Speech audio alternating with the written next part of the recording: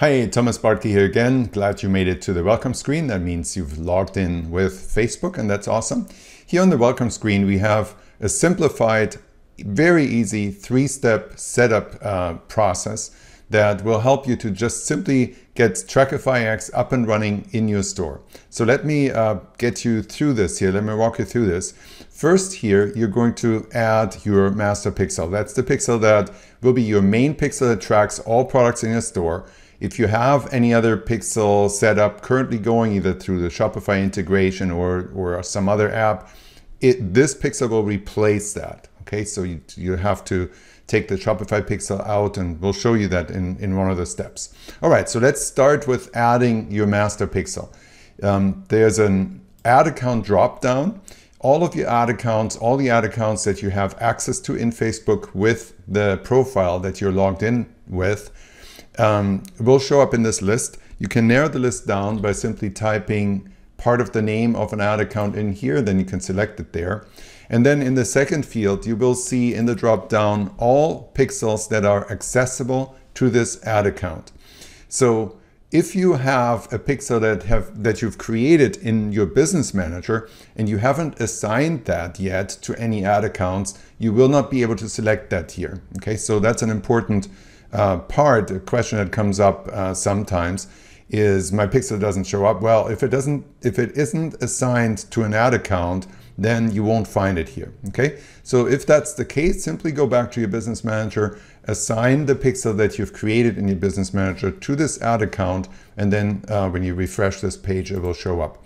So you select the pixel you want to use here as a master pixel and you click add pixel and that will then confirm. You will turn this field green and have a check mark and everything's happy and it opens up the second step for you. Now this step does not apply to Shopify Plus stores. So if you have a Shopify Plus store, you don't need to do anything with the script here. However, you still have to um, make sure that your Shopify pixel is removed from the settings.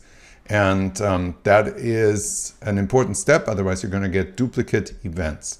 So for all non-plus stores uh, in Shopify, you do this. You simply click on this copy button here that selects the entire script and copies it. And then you click on Shopify Prefs, Shopify Preferences. And that takes you right here. You see it opens up the online store preferences.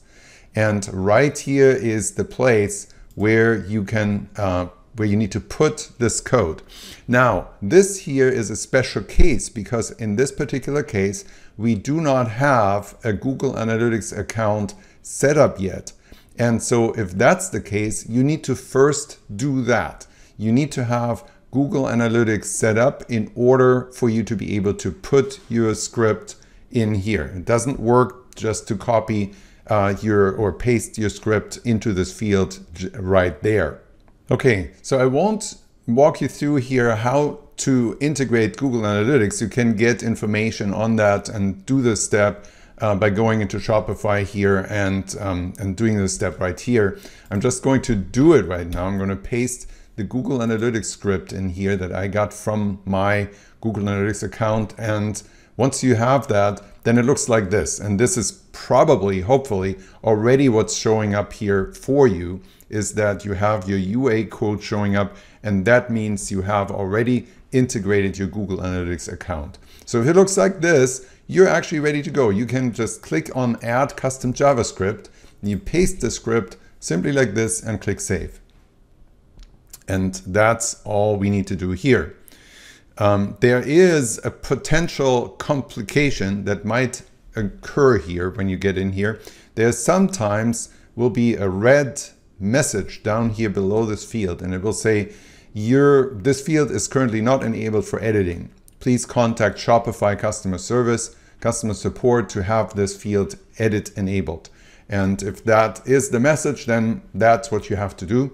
You have to contact Shopify support, preferably through their chat, and you simply have them enable it right here. Okay, so that's that. And that takes us, oh, one more thing. Right down below here, and that applies to Plus stores as well as to all the others. If you have a Facebook Pixel ID in here, let's say like this, and this is your Facebook Pixel ID, then you need to take it out, okay? You click on change, you highlight it, you take it out, you click save, and you, remo you, you remove the Facebook Pixel from your Shopify preferences here, from the settings.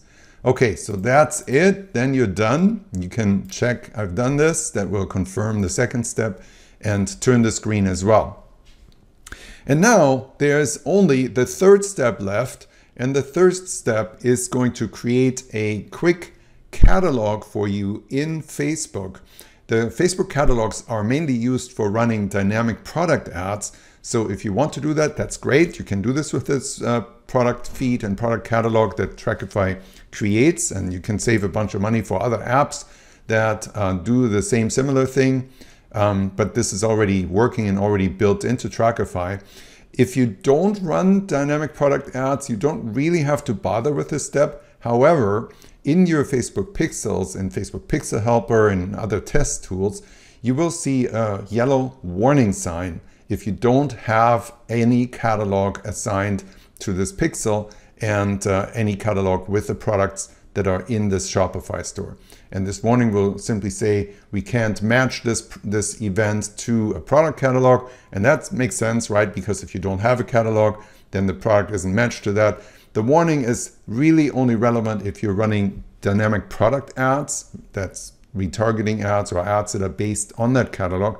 It doesn't matter. It doesn't matter for tracking or optimization features or audience building features or any of that. It doesn't matter for any of these features. It only affects the dynamic product ads. So if you know you don't want to run any, any ads on a catalog here, then you can just simply skip this step and just know that you'll see that yellow warning when you check your pixel in Facebook Pixel Helper later on. Um, but it doesn't matter for your tracking and optimization. Okay, let's walk through the steps anyway. It's so simple, you, you'll see once you see the you know, minute that's left in this video. We're just gonna call this thing test, um, test uh, quick catalog. Let's call it that, okay? And we're going to set here, okay, so now here you have another drop down. In this drop down, you will see all the business manager accounts that are accessible to the Facebook profile that you use to log in. And here you can simply also type part of the name, or maybe you just have one business manager, then it will be real easy to pick this out of the dropdown. Here you add the pixel, and then you select a Google product category. Now this is has nothing to do with building a feed for Google or selling on Google Shopping or any, any of that.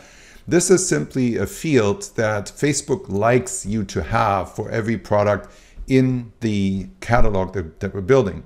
And for this, you can simply select a uh, Google product category from this list here that is the most common and most fitting for all products that you have in your store.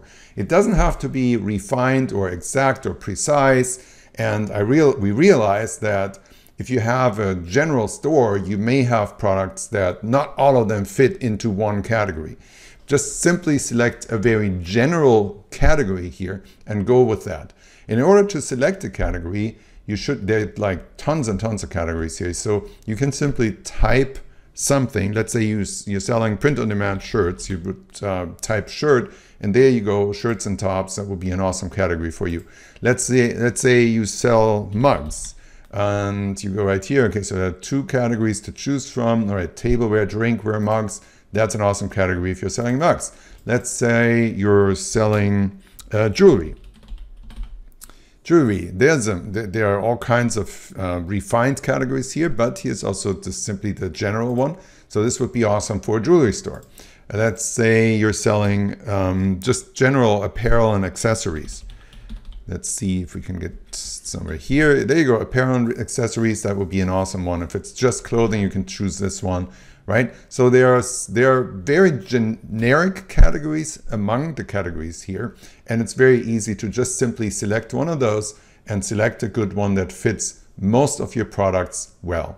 Then you click Save and Build Catalog and it will tell you all set, good job, and you're done.